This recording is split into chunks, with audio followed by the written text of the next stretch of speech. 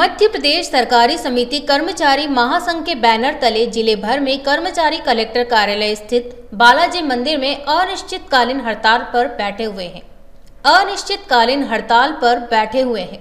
Collector कार्यालय में इनके द्वारा की जा रही अनिश्चितकालीन हड़ताल का आज नौवा दिन है और आज कर्मचारियों द्वारा हाथ पर काली पट्टी बांधकर विरोध प्रदर्शन किया गया। जानकारी के लिए बता दें कि सरकारी समितियों के कर्मचारियों द्वारा अपनी मांगों को मनवाने के लिए कलम बंद आंदोलन पूरे मध्य प्रदेश में किया जा रहा है, जिससे समस्त शासकीय उचित मूल्य की दुकानें व सहकारी संस्थाएँ पूर्ण रूप से बंद हैं। इस आंदोलन से आम नागरिकों और शासन प्रशासन को परेशानी का सामना भी करना पड़ रहा है, लेकिन कर्मचारियों द्वारा अपनी मांगों को लेकर विरोध प्रदर्शन किया जा रहा है। रोज़ाना नए नए तरीकों से विरोध प्रदर्शन जारी है। यूनियन के संरक्षक कैलाश चंद्र पाराशर ने जानकारी देते हुए बताया कि जब तक सरकार द्वारा हमारी मांगे नहीं मानी जाएँगी, तब तक यह अनिश्चितकालीन हड़ताल जारी रहेगी और आने वाले दिनों में पकौड़े तलकर, रैली निकालकर, भीख मांगकर नए नए तरीकों से रोज़ाना प्रदर्शन किया जाएगा, ताकि सरकार हमारी मांगे पूरी कर सके। सौ छब्बीस सरकारी संस्थाएँ हैं ये सभी सरकारी संस्थाएँ आज की तारीख में बंद हैं, क्योंकि हमारी जो मुख्य मांग है, वो शासकीय कर्मचारियों का दर्जा देना एवं वेतनमान का निर्धारण करना। इस समय पीडीएस की दुकानों से जो अनाज गरीबों को दिया जाता है, वो भी नहीं दिया जा रहा है, इसका हमें खेद है। पंजीयन नहीं हो रहा है इसका भी हमें खेद है। परंतु हम क्या करें? हमारा वेतन बहुत कम है और हम लोगों पर ऊपर से दबाव भी आ रहा है। अभी अभी एक एक सोसाइटी वाले कर्मचारियों को अधिकारियों ने नोटिस दिया है कि आपकी जवाबदारी होगी और हमने भी उसका प्रत्युत्तर दिया है। यहीं की नीमच ज़िले की सोसाइटी का।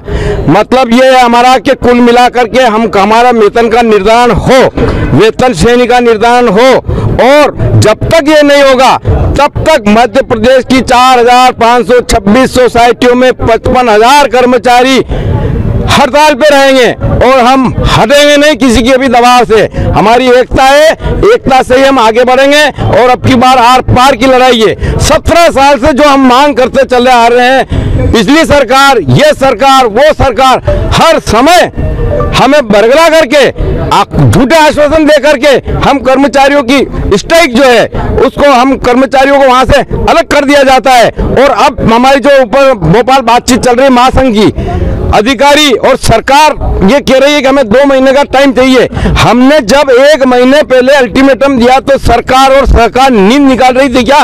उस समय उनको ये समय कर देना था। अब कह रहे हमें दो महीने का टाइम चाहिए, फिर दो महीने बाद चुनाव आ जाएँगे, आचार संहिता लग गई, अभी एस्मा लगा देंगे। ऐसा होगा, हम हटेंगे नहीं किसी हालत में। जब तक हमारी एक ही मांग महत्वपूर्ण मध्य प्रदेश शासकीय कर्मचारियों के मान से वेतन मान हो, जिस प्रकार के वेतन श्रेणी एक, दो और तृतीय और चतुर्थ श्रेणी का मानते हैं। कम से कम इतना तो माने हमको। वो भी मानने के लिए तैयार नहीं। मध्य प्रदेश के कई ऐसे ज़िले हैं, जहाँ लोगों, हमारे कर्मचारियों कलेक्टर रेट तक उन लोगों को नहीं मिल रही है। कलेक्टर रेट भी नहीं मिल रही है, जबकि कलेक्टर रेट भी आज की तारीख में सात आठ हज़ार है। वो भी उससे भी कम मतलब दे रहे हैं। तो ये हमारा शोषण हो रहा है और इस शोषण के खिलाफ हमने आवाज़ उठाई है। हम चाहे जो हो जाए किसी भी ज़िले में हड़ताल हटेगी नहीं। हड़ताल का कौन सा दिन है और किस प्रकार का विरोध प्रदर्शन आपके द्वारा किया गया है आज नौवा दिन? है और आज हमने काली पट्टी बाँध करके प्रदर्शन किया है। आगे हमारा जो योजना है क्रमिक भूख हड़ताल पे बैठेंगे हम अर्धनग्न होकर प्रदर्शन करेंगे। हम यहाँ रैली भी निकालेंगे जिसकी विधिवत अनुमति लेंगे। भीख भी मांगेंगे। ये सारी पकोड़े भी तलेंगे सब कुछ करेंगे परंतु हमारी आवाज़ जो है शासन तक पहुँचा के रहेंगे। तो ये समाचार वाले जो हम लोग सामने आया था अभी कुछ सोसाइटी कर्मचारियों को दो महीने का कमीशन वो लोग डालने की बात कर रहे हैं। देखिए ऐसा है कमीशन यदि डालते हैं तो वो तो सोसाइटी की रीढ़ की हड्डी जो पहले तोड़ रखी है, उसमें काम आएगा कमीशन। कमीशन का अर्थ यह है कि सोसाइटी का जो फंड होता है, वो वो जमा होना, वो कमीशन तो वो वो भी नहीं दे रहे हैं। वो तो कर्मचारियों को उससे कोई लाभ नहीं है। कर्मचारियों को तो ये है कि जो सेवा नियम नया बनाया है, उसके अंदर, उस कंडिका के अंदर लाभ हानि शब्द जो लिखा है जो सोसाइटी लाभ में है, उसको ये सेवा नियम लागू हो, और जो हानि में हो, उसके नहीं हो। तो हमारी ये भी मांग मांग है कि लाभ हानि शब्द उस सेवा नियम जो नया बनाया बाइलाट उस कंडिका से उसको विलोपित किया जाए। यदि उसको विलोपित नहीं करेंगे तो जहाँ हानि में सोसाइटी उनको पाँच हज़ार सात हज़ार आठ हज़ार मिलेंगे दस हज़ार मिलेंगे कलेक्टर भी नहीं मिलेगी।